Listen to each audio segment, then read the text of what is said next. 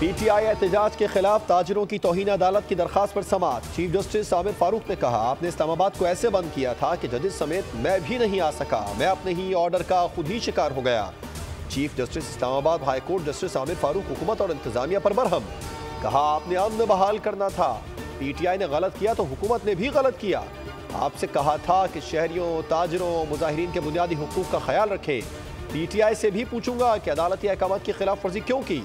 दरख्वास्त गुजार का क्या कसूर था? उनके कारोबार को क्यों बंद किया? अदालत ने वजारत दाखिला को तफसीली रिपोर्ट जमा कराने की हिदायत कर दी।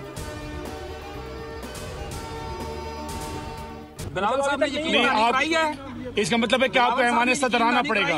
आपको लॉन्ग मार्च लेके ऐवान सदर आना पड़ेगा इसका मतलब है।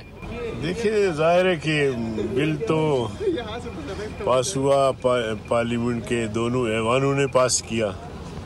अब सदर साहब की तरफ़ से ताखीर हो रही है। पीपल्स पार्टी ने आके यकीन दहानी कराई कि सदर साहब इंशाल्लाह अच्छा अच्छा। उस पर दस्तखत बिलावल भुट्टो ने नाराज़ मौलाना फजल रहमान को मना लिया। Chairman Pakistan Peoples Party Bilawal Bhutto Zardari ने मौलाना को मदारस के रजिस्ट्रेशन पर दस्तखत से मुतालिक यकीन दहानी करा दी। मौलाना गफूर हैदरी कहते हैं पार्लियामान ने इस बिल की मंजूरी दी है। सेनेटर कामरान मुर्तजा बोले, बिलावल मदारस के बिल से मुतालिक पहले भी हमारे साथ थे। बिल पर दस्तखत में रुकावट कहीं और से आ रही है। सदर मुमलिकत को क्या एतराज़ है कि वो दस्तखत नहीं कर रहे? एतराज़ कहीं और से आ रहा है।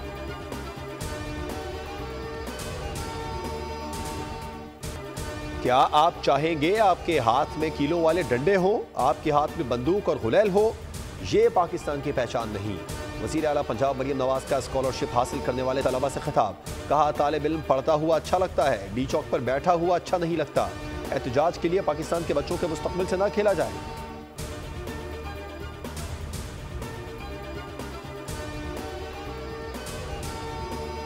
That we make sure uh, that uh, this area, which we call red zone, is free from any protest or any violence. For this purpose, a special law was also enacted. You will find that it is very surprising that a political party chooses to uh, you know, demonstrate, to protest a date when some, uh, you know, foreign dignitaries are visiting Pakistan.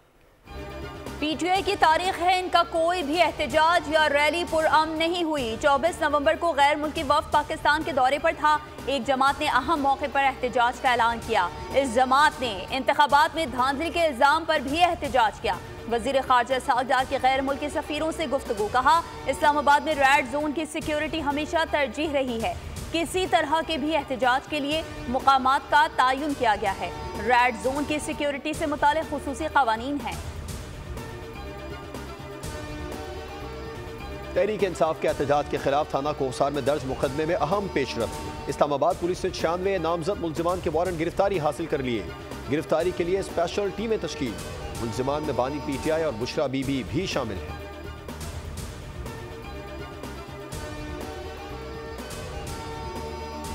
Kurram के अमन के लिए उनके पास time नहीं था। आज सुबह हुकूमत ने आज तक एक टके का कोई कैंप नहीं लगाए, कोई ऐसे टेंट्स नहीं पहुँचाए, कोई फ़ूड आइटम्स नहीं दे रहे, कोई दवाइयाँ नहीं दे रहे। हमारा जो फोकस है, कल की ऑल पार्टीज़ कॉन्फ्रेंस पे है, कि हम तमाम जमातों को हमने दावत दी है।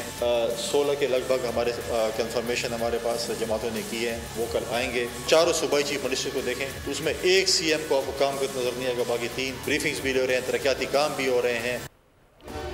जिला कुरम की सूरत हाल और अमनो अमान के क्याम के लिए गवर्नर के पी फैसल करीम कुंडी ने कल गवर्नर हाउस में ऑल पार्टीज़ कॉन्फ्रेंस तलब कर ली। पीटीआई का शिरकत से इनकार, सेक्रेटरी इतलात शेख वकास अक्रम ने कहा कि खैबर पख्तूनख्वा के अवाम की नुमाइंदगी तहरीक इंसाफ के पास है।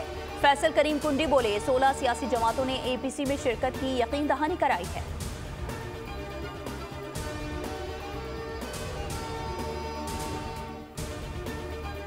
ऐसा मुआशरा जिसमें कि आपके जानो माल को हिफाजत ना हो, ऐसे मुल्क जहाँ पे कानून की बालादस्ती ना हो, ऐसे मुल्क जहाँ पे शहरियों को तहफ़ हासिल ना हो, वो मुल्क कभी तरक्की कर ही नहीं सकता। हम तो अपने एक सियासी जमात है और हमारी कार्रवाई सियासी है।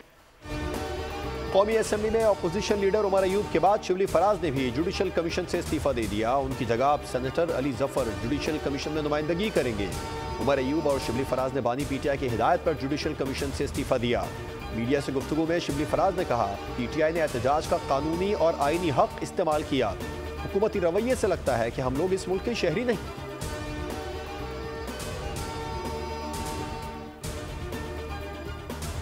निशाना या पीटीआई की दुश्मनी जो है, उनका टारगेट उनकी दुश्मनी पाकिस्तान से है। ये जो स्क्रिप्ट लिखा गया है, ये पाकिस्तान को बदनाम करने की एक इंटरनेशनल साजिश का हिस्सा है।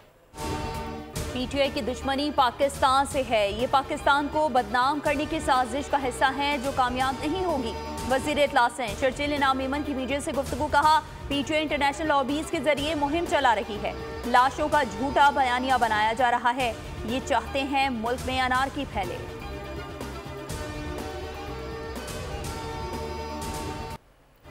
जूनियर हॉकी एशिया कप का फाइनल, पाकिस्तान और भारत के दरमियान मुकाबला बराबर। तीसरे क्वार्टर का खेल जारी। पाकिस्तान और भारत ने तीन तीन गोल किए हैं। पाकिस्तान तीन बार, जबकि दिफाई चैंपियन भारत चार बार जूनियर एशिया कप का टाइटल जीत चुका है।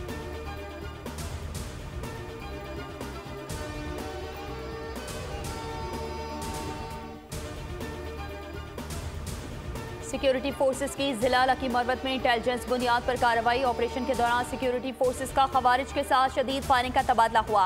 पाँच खवारिज जहानों वासिल हो गए। दो जख्मी हुए। सिक्योरिटी फोर्सेस का इलाके में क्लियरेंस ऑपरेशन जारी है। आईएसपीआर के मुताबिक पाकिस्तान की सिक्योरिटी फोर्सेस मुल्क से दहशतगर्दी की लानत को खत्म करने के लिए पुरज़म है। सदर मुमलिकत और वजी अजम का सिक्योरिटी फोर्सेस को खराज तहसीन।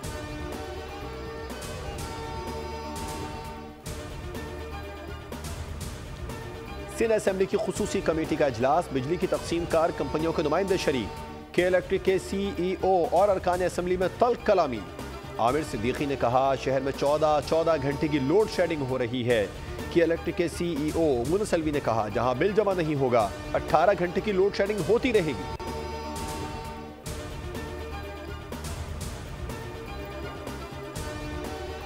सिंध हाई कोर्ट में के इलेक्ट्रिक के डिमांड नोटिस के खिलाफ पाकिस्तान रेलवे की दरख्वास्त पर समात हुई। अदालत ने 22 नवंबर के डिमांड नोटिस को मुअत्तल करते हुए के इलेक्ट्रिक और डेप्टी कमिश्नर के माड़ी को 12 दिसंबर के लिए नोटिस जारी कर दिया। अदालत की जानब से चीफ सेक्रेटरी सिंध को भी नोटिस जारी किया गया। पाकिस्तान रेलवेज का कहना था कि के इलेक्ट्रिक को मामला तय करने के लिए खत लिखा था। के इलेक्ट्रिक ने हमारी जमीनों पर बिजली के खंभे लगा रखे हैं।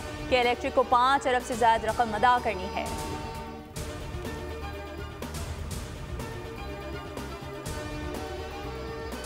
पाकिस्तान और रूस के दरमियान नवा बैन हुकूमती कमीशन का अजलास पाकिस्तान और रूस के दरमियान इंसुलिन की तैयारी समेत आठ माहदों पर दस्तखत की तकरीब। विफाकी वजी तोानाई सरदार अवैस अहमद लगारी तकरीब में शरीक हुए। दोनों ममालिक के दरमियान दो तरफा तजारत, मुआशी ताउन के फ़रोग, सनती शोबों की तरक्की के माहों पर दस्तखत किए गए।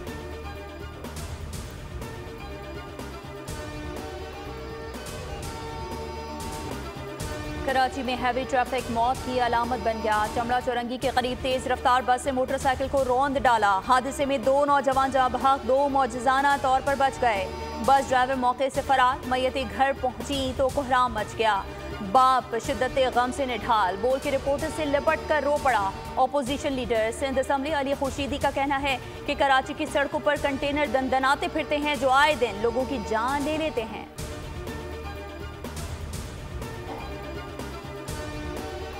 क्या है अनफॉर्चुनेटली अपने ही उसके फ़र्स्ट कज़न ने ये जुर्म किया और डेड बॉडी छुपा दी ने अपने दो साथियों के साथ मिलके।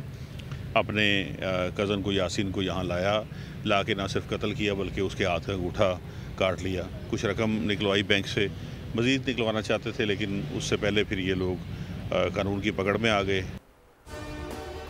शेखुपुरा में सफाकियत। पैसों के लालच में कज़न ने कज़न को कत्ल किया और उसका अंगूठा काट कर एटीएम से 10 लाख रुपए की रकम निकलवा ली। बकिया रकम निकलवाने के लिए अंगूठा अपने पास रखा हुआ था। पुलिस के मुताबिक मुलजमान लाश को कार की डिग्गी में रखकर नहर में फेंकने जा रहे थे। पुलिस ने कार की तलाशी पर नौजवान की बोरी बंद लाश बरामद कर ली। गिरफ़्तार मुलजमान में मकतूल का कज़न और उसके दो दोस्त शामिल हैं।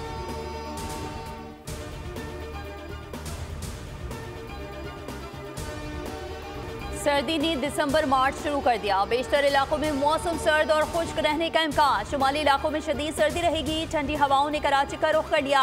रात के औकात में खून की बढ़ गई। महकमा मौसमियात के मुताबिक पंजाब के मैदानी इलाकों और बालाई सिंध में धुंध छाए रहने का इम्कान। बलूचिस्तान के बेशतर अजला, मगरबी हवाओं के जेर असर आ गए। बारिश से ठंड में इजाफा।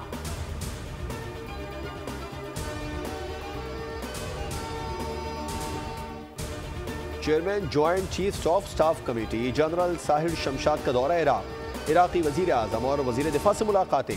आई एस पी आर के मुताबिक बाहवी दिलचस्पी के अमूर दिफाई ताउन, इलाकाई सूरत हाल पर गुफ्तु की गई। पाकिस्तानी और इराकी हुकाम ने अस्करी ताल्लुक फ़रोग देने पर तबादला ख्याल हुआ। दोनों मुल्कों ने क़्यादत का दिफाई ताल्लुक मजीद मज़बूत बनाने के आज़म का अदा किया।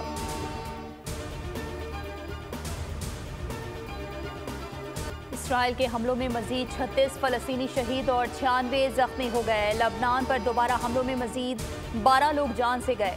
इसराइल का मगरबी किनारे में तीन हमास सरकार को मारने का दावा। अकवा मुतहदा का कहना है कि इसराइल के मुहासरे की वजह से पूरी पट्टी में खुराक की फराहमी इंतहाई कम हो चुकी है। शुमाली गजा में सूरत हाल बड़ी तशवीशनाक है।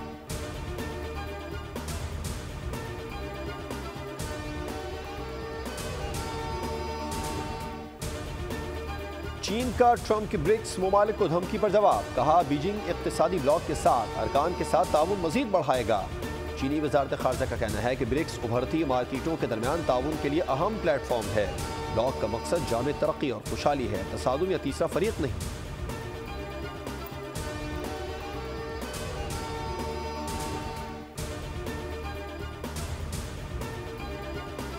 जनूबी कोरिया की अपोजिशन जमातों ने सदर यून से क्योल के खिलाफ मवाखजे की तहरीक जमा करवा दी। मवाखजे की तहरीक पर जुमे तक वोटिंग मुतव है अपोजिशन के दबाव के बाद। जनूबी कोरिया के वज़ीर दिफा ने मुस्ताफी होने की पेशकश कर दी है। जनूबी कोरिया में चंद घंटे का मार्शल लॉ लगा और पार्लियामान समेत मुल्क भर में हंगामा खड़ा हो गया, जिसके बाद मार्शल लॉ उठाना पड़ गया।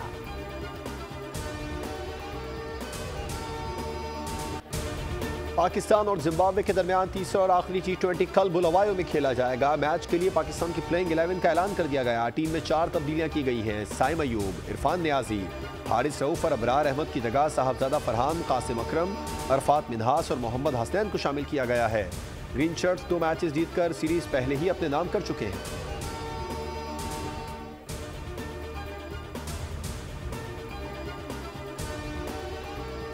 दौरे जनूबी अफ्रीका के लिए पाकिस्तान के रेड और व्हाइट बॉल स्क्वाड्स का ऐलान कर दिया गया। फास्ट बॉलर मोहम्मद अब्बास की टेस्ट स्क्वाड में वापसी। बाबर आज़म तीनों फॉर्मेट के स्क्वाड्स में शामिल। शाहिन शाफरीदी टेस्ट स्क्वाड में जगह ना बना सके। पाकिस्तान जनूबी अफ्रीका में तीन टी ट्वेंटी तीन वनडे और दो टेस्ट मैचेस की सीरीज़ खेलेगी।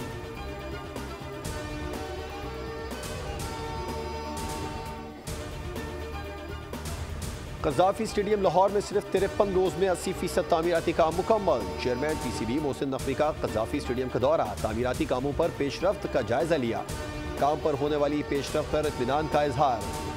कहा, चैंपियंस ट्रॉफी से कबल प्रोजेक्ट को मुकम्मल कर लेंगे। पूरा stadium state of the art और आलमी मैार का बनाया जा रहा है।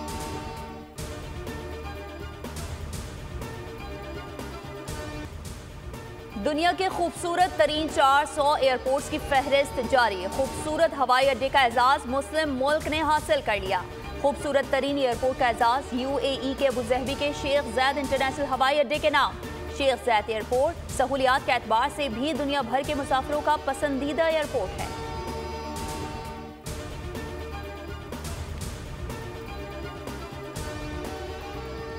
क्रिसमस आ रहा है, रौनकें ला रहा है। यूनान में भी तैयारियाँ उरूज पर पहुँच गई। दारुलहुकूमत ईथन्स रोशनियों से सज गया। सयाहों और मकामी अफराद की चहल पहल उरूज पर है।